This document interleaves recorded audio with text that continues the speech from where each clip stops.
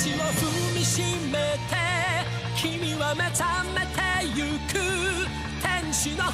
Hola, soy Bash y hola amigos, bienvenidos una vez más a nuestro canal. Y bueno, el día de hoy, como ya es costumbre en el canal, les traigo la review del capítulo 399 del manga de Hunter x Hunter. Así es, en esta ocasión el capítulo ha salido antes y por si no han leído el manga, lo estaré compartiendo en mi página de Facebook. Pero bueno, en este capítulo tenemos aspectos muy interesantes, ya que finalmente la familia Hailey demuestra de lo que es capaz, revelando algunas habilidades realmente interesantes por parte de estos personajes, los cuales son capaces de expulsar y nerfear a Nobunaga. Así es, de acuerdo a lo que habíamos visto de esta familia, no parecían tener el potencial para hacer algo en contra del Ryodan, pero poco a poco, de acuerdo a sus diferentes habilidades, al parecer el grupo va tomando fuerza. Y bueno, ya estaremos viendo lo que sucede con todo esto. Además de que sí, estamos a solo un episodio de el esperado capítulo 400, que podría tener buenas y malas noticias a la vez. En primera instancia, todo parece indicar que en el capítulo capítulo 400 podríamos estar viendo al mismísimo Kurapika, algo que sin duda alguna me muero de ganas de ver. Pero por otro lado también estamos llegando justamente a los 10 capítulos por parte de Togashi, por lo que no estoy tan seguro de que el manga pueda continuar a este ritmo. Sabemos que Togashi todavía estaba preparando varios capítulos más adelante, pero directamente no sabemos si se va a tomar un tiempo para continuar con el manga o si podrá mantener el ritmo semanal. Solo nos queda esperar para el próximo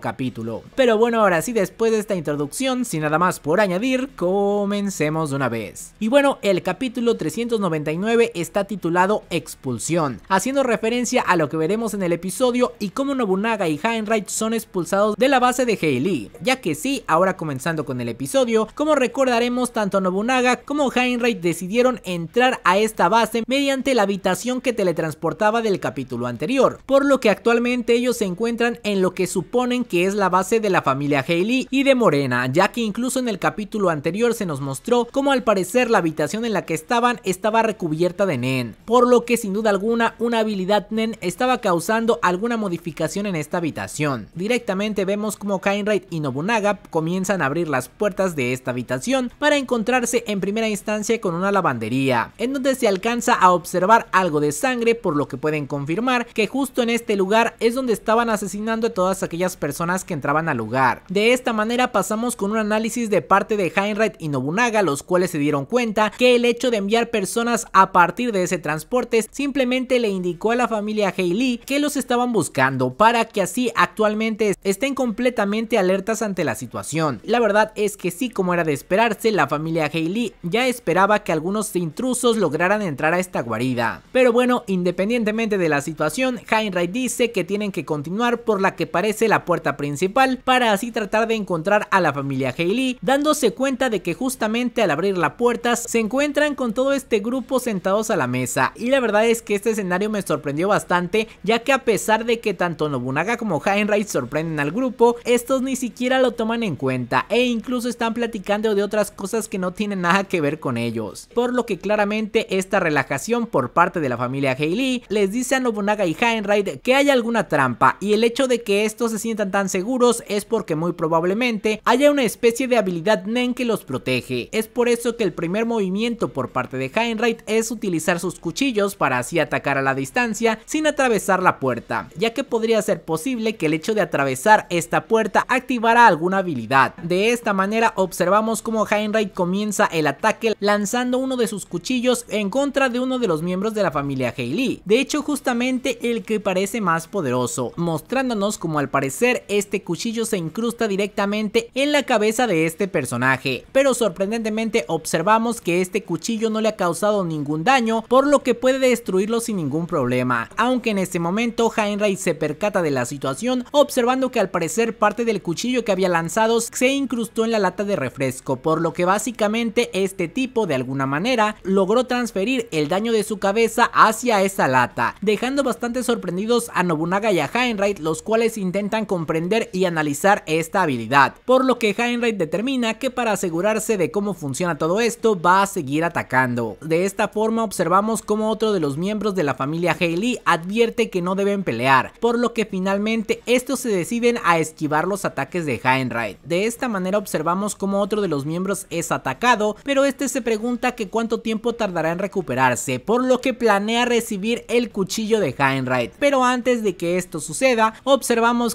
otro miembro es capaz de detenerlo con una revista de la Shonen Jump al parecer. Y bueno, no lo sé, estas habilidades no son tan explicadas en este punto, pero el primer tipo parecía tener la capacidad de regenerarse según él, y el otro al parecer puede darle cierta fuerza a los objetos mediante su Nen, aunque no estoy seguro que directamente esta sea su habilidad. Pero bueno, después de estos ataques por parte de Heinrich, observamos cómo aparece un miembro más de la familia de Hailey presentándose con el nombre de Yokotani y explicando que él es el abogado de la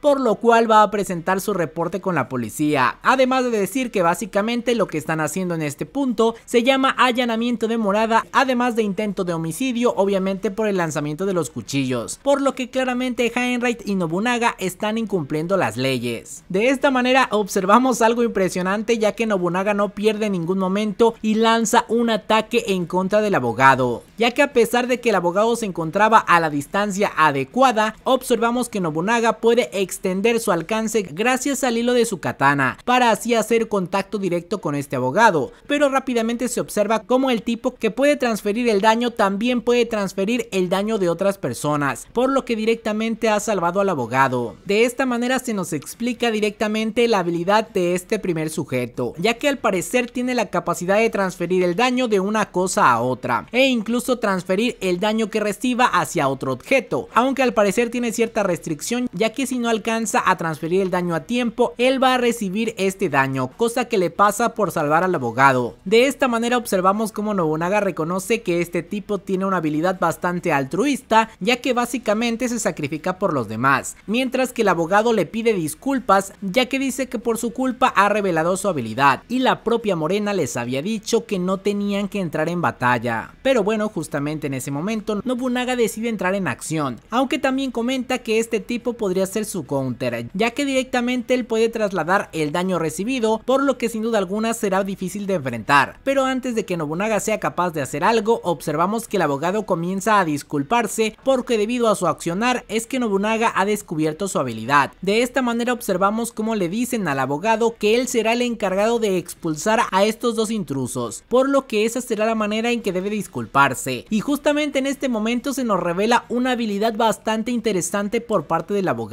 la cual es increíblemente poderosa, ya que el abogado tiene la capacidad de crear soldados inmortales, los cuales se encargan de cumplir con las reglas que hay en la guarida, y estos pueden ir aumentando su nivel de poder de acuerdo al nivel de amenaza o la cantidad de leyes que hayan roto de la guarida. La verdad es que esta habilidad tiene un potencial bastante enorme, ya que al parecer tiene una restricción también muy grande, la cual es que esto solo funciona dentro de la guarida de Hailey, pero precisamente cuando se hacen este tipo de restricciones la habilidad Nen se potencia, es por eso que la capacidad de este ejército es realmente impresionante, aunque eso sí también se nos comenta que ellos no tienen la capacidad de causar daño a su adversario, más que nada esta es una capacidad defensiva, que sirve para expulsar a los intrusos, aunque directamente para cumplir su función es extremadamente útil, ya que observamos cómo estos soldados van a tratar de capturar a Nobunaga y a Heinrich y a pesar del enorme poder de Nobunaga y su capacidad ofensiva, él no es capaz de causarle ningún daño a estos guardias, e incluso después del ataque observamos cómo su poder aumenta, por lo que Nobunaga queda bastante sorprendido ante la situación y prácticamente sin ninguna oportunidad de contrarrestar esta habilidad. Y la verdad es que sin duda alguna es bastante difícil de manejar ya que como dije estos tipos son indestructibles y a final de cuentas tienes que obedecer las leyes de este lugar para poder saltarlos. Vamos a ver en un futuro cómo es que se llega a manejar o enfrentar a este rival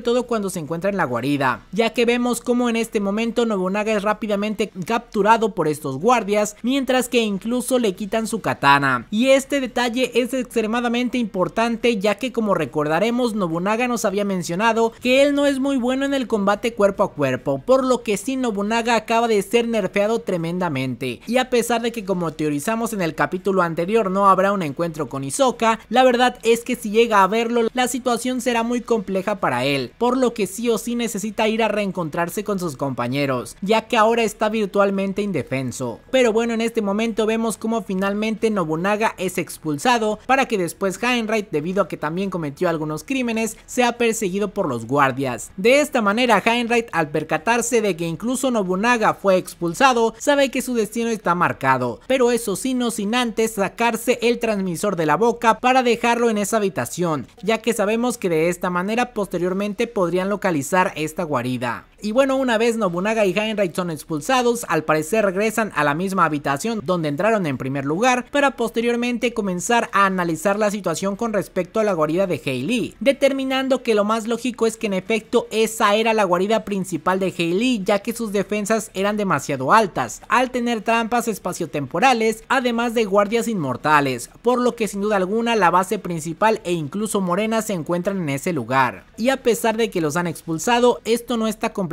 perdido, ya que tuvieron la capacidad de observar a varios de los miembros de la familia Hailey, además de que han dejado el transmisor en ese lugar, por lo que pueden comenzar a planear un ataque directo. Y bueno, básicamente el capítulo termina con Heinrich preguntándose a qué se referían con la palabra órgano, ya que justamente en una de las conversaciones de esta familia hicieron referencia a que uno de ellos era el órgano. La verdad es que no tengo ni la menor idea de qué podría simbolizar, aunque yo siempre he planteado la posibilidad de que Hailey va a querer que al menos uno de ellos mate a las personas suficientes para llevar su habilidad al límite. Y es posible que esta persona a la que le llaman órgano sea la clave para alcanzar el máximo nivel gracias a la habilidad de Morena. La verdad es que aún hay muchos misterios por resolver. Pero bueno, de esta manera termina el episodio diciéndonos que el próximo capítulo el Ryodan persigue a la familia Hailey, además de que también los príncipes están en movimiento. Y sí, justo como lo había dicho, al parecer en el próximo capítulo, el episodio 400 tendremos el regreso de Kurapika, por lo que sin duda alguna tengo muchas ganas de verlo. Pero bueno, en términos generales, la verdad es que la familia Hailey me sorprendió mucho, ya que tiene habilidades bastante interesantes, aunque sí me sorprende el hecho de que estuvieran tan relajados ante la llegada de Nobunaga y Heinrich, ya que a final de cuentas vimos que los cuchillos sí pudieron hacerles daño si es que impactaban, y claramente se salvaron gracias al tipo que puede transferir el daño, pero si no, al parecer ellos sí pudieron haberse herido. Por otro lado, me llama la atención que los príncipes vayan a regresar, espero que a final de cuentas la trama de las mafias y los príncipes comience a conectarse para que tengamos una explosiva conclusión de todo esto. Pero bueno, como sabemos Togashi va construyendo esto poco a poco y esperemos que tenga la capacidad de continuar con este ritmo de los episodios. Y si no es así, al menos que tenga cierta continuidad y no nos vayamos a hiatus tanto tiempo. Pero bueno, ya veremos lo que sucede, déjenme todas sus opiniones y teorías en los comentarios. Y antes de despedirme quiero agradecer a todos los miembros del canal que siempre nos están apoyando. Y muchas gracias a Eddie Lobo, Benja López, Alcojo Gamers, Luis Macosta, Ernesto Albornoz, Veida Mendoza, Rain505, Alfred Same, Manuel Castro, Santiago de la Cruz, Alex Gamer, Armo, Rodrigo García, Fanny Morales y Jonathan B. Y ahora sí, sin nada más por añadir, adiós.